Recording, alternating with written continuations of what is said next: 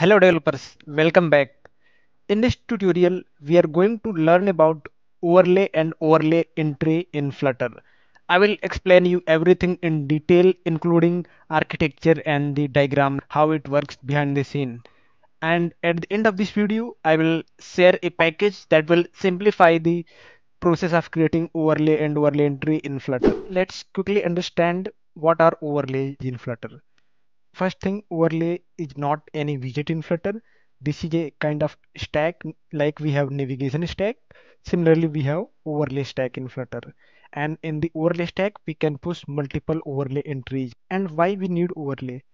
We need overlay because there are multiple scenario like we want to display a loading bar on top of screen or on top of current UI or we want to show some dialog or we want to open some tooltip or drop down. So in those kind of scenario we need overlay. Let's see the architecture. With this diagram you will be able to understand the architecture of overlay. Let's suppose this is your root app.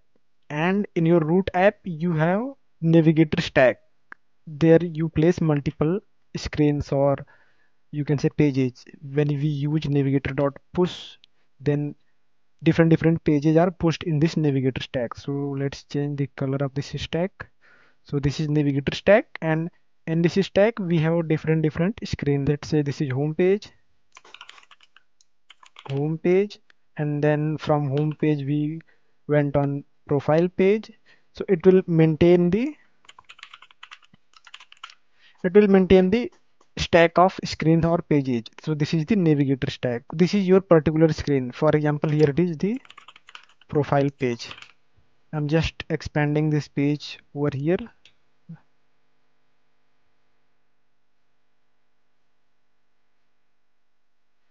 So this is your profile page. See the architecture. This is your root app. Then you have the navigator stack. In navigator stack you have different different pages. So current page is profile page because this is on the top of this navigator stack. If you will pop you will go back to home page. But now right now we are on the profile page. And that's why I have expanded it here. So now we are on the profile page. And in profile page you will have your widget hierarchy. For example you will have a scaffold. So I'm again duplicating it and creating it here. So this is your scaffold and let's make it white. So this is your scaffold. So see root app navigator stack then in the navigator stack you have your profile page this is profile page and in your profile page you have this scaffold widget and inside this scaffold widget you will have your widget hierarchy. So in scaffold you in the child of scaffold in the body of scaffold you will have your column. So let's say this is column and inside this column you have a couple of widgets like some buttons here. Let's duplicate it. We have multiple buttons here. So this is this black one is the column this white one is scaffold and in the column we have multiple buttons. So this is the current architecture of our screen. Now what we want on click of this button we want to show a loader at the center of a screen. Why you cannot use the normal widget? Because if I want to show a loader here then in this widget hierarchy like in, inside the body of scaffold we have column inside the column we have buttons and then at the center of this buttons we have to place in this widget tree we have to place that loader. That will disturb the position of these buttons and that will not look good at all. Now what we can do we can use overlay and then it will cover the entire screen and it will show the loader at the center of a screen. Now let me create the overlay stack. So like we have this navigator stack for our root app we have the overlay stack.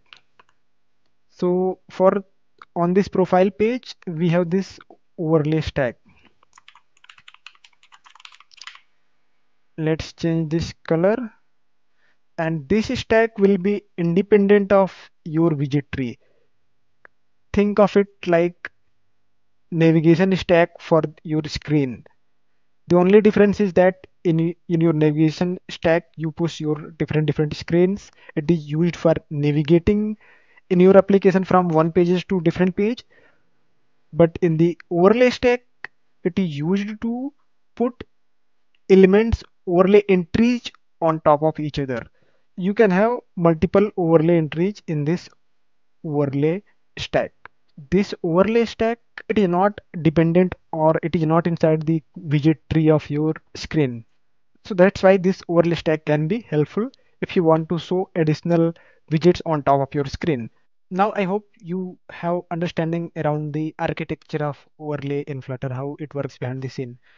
Now let's see the code and if you have even some doubt it will get cleared in the code demonstration of the overlay and overlay entry. To implement overlay entry what we, we have to do we have to create overlay entry first. To so to insert into overlay stack of flutter we have to first create some entries. So let's create some entry first.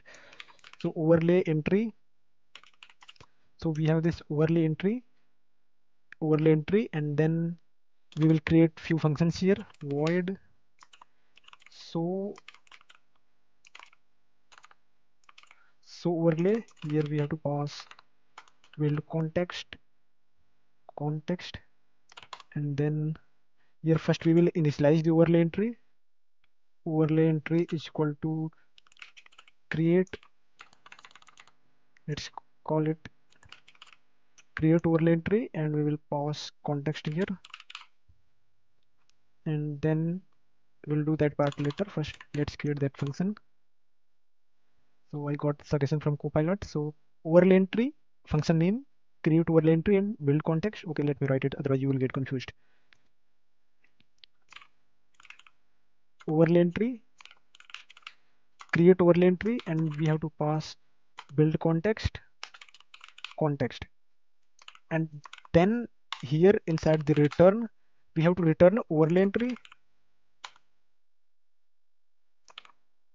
And inside the builder and in the return as I told you you have to use some alignment widgets or position widget to tell where to place this widget on the screen because for this overlay entry the scope is entire screen.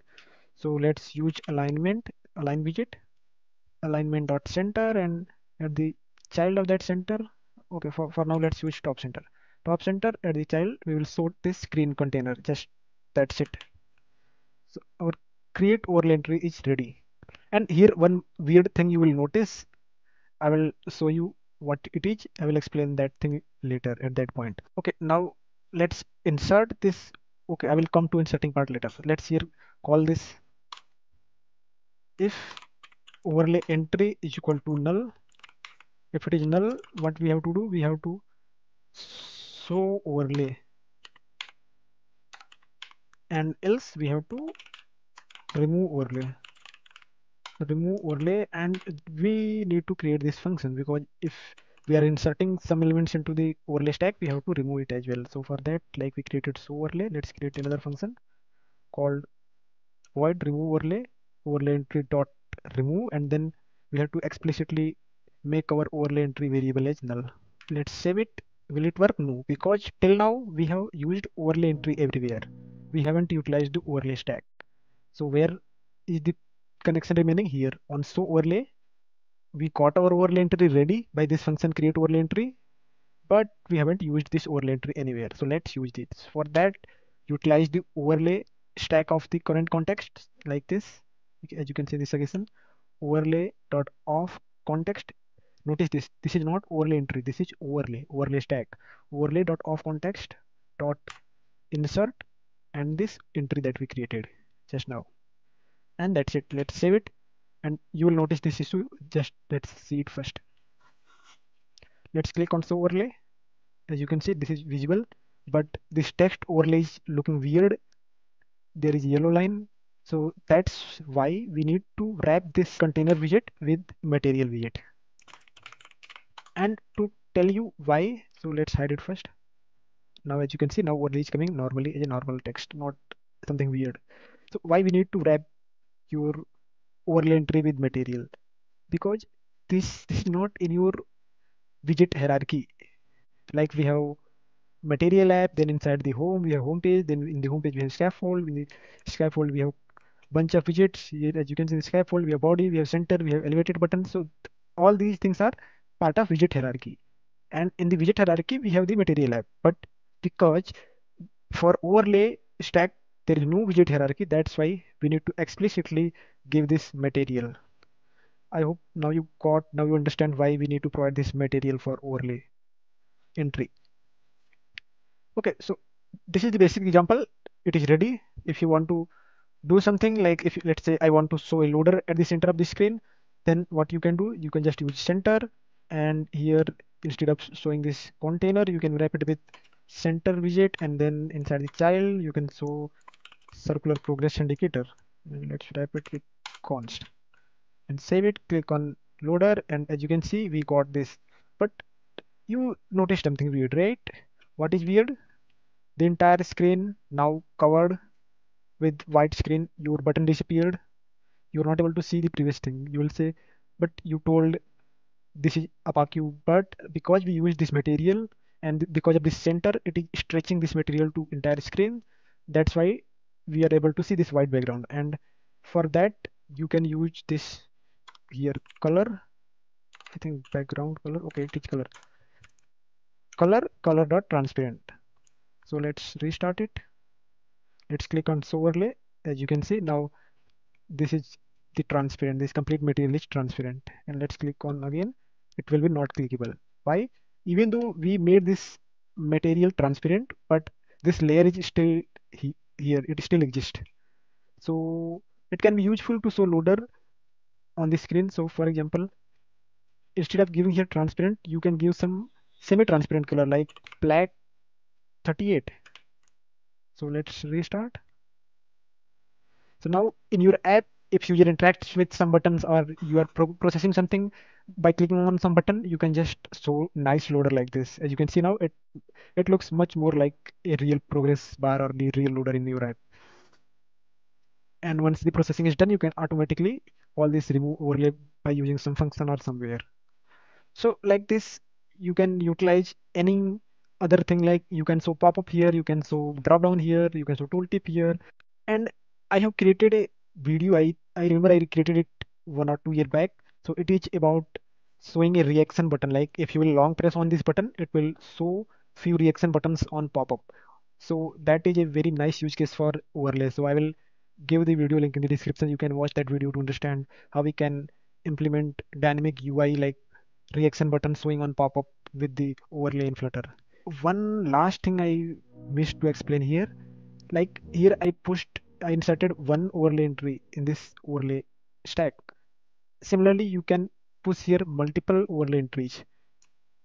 Because this is a stack you can insert overlay entry 2 or overlay entry 3 so see which one will come on top. So loader is coming on top and the red container is coming on bottom. So why? Because this is a stack. So first we are inserting the overlay entry. Overlay entry is coming from this red container and then we are inserting the overlay entry 2 that is this loader. So like the stack last inserted one will come at the top. So this was the thing i missed. And another thing if you want to let's say if you want to dynamically change this ui overlay entry align material so let's say you want this color to dynamically change at some point in your application then we have this method called mark needs build. So let's say we have a function called void update overlay.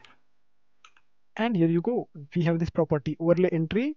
We have this method not property overlay entry dot mark needs build. You might have seen this method inside your error logs not in the code but for overlay entry you have to use it in code if you want to update overlay entry dynamically.